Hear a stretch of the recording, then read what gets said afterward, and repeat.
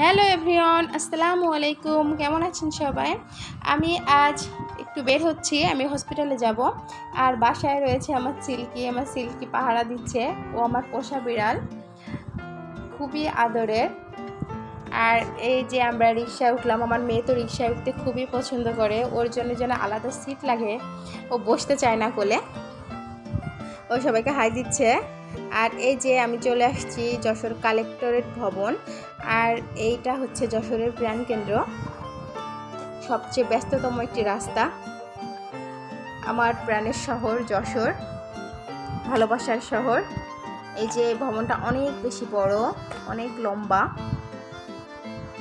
British আমল থেকে তৈরি হয়েছে আর এটা হচ্ছে আমাদের ভৈরব নদী। ভৈরব নদীর পাশেই সব হসপিটালগুলো গড়ে উঠেছে। এই খনন করা হচ্ছে আবার নদীটা।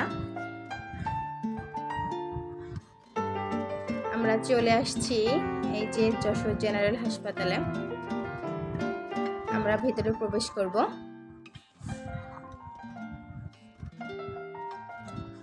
আদিবা খেলনা দেখলে খেলনা নেওয়ার জন্য পাগল হয়ে যায়।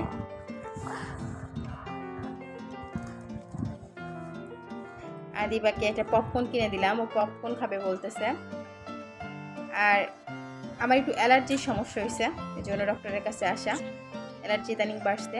আর এই যে ভাইরা বসে আছেন এখানে, এনারা কিন্তু কোম্পানির লোক। প্রেসক্রিপশন দেখলে কাড়াকাড়ি শুরু করে দেয়। কে আগে নেবে, কে আগে ছবি তুলবে, এনাদের জন্য জানে হসপিটালে যাওয়াই মুশকল হয়ে গেছে।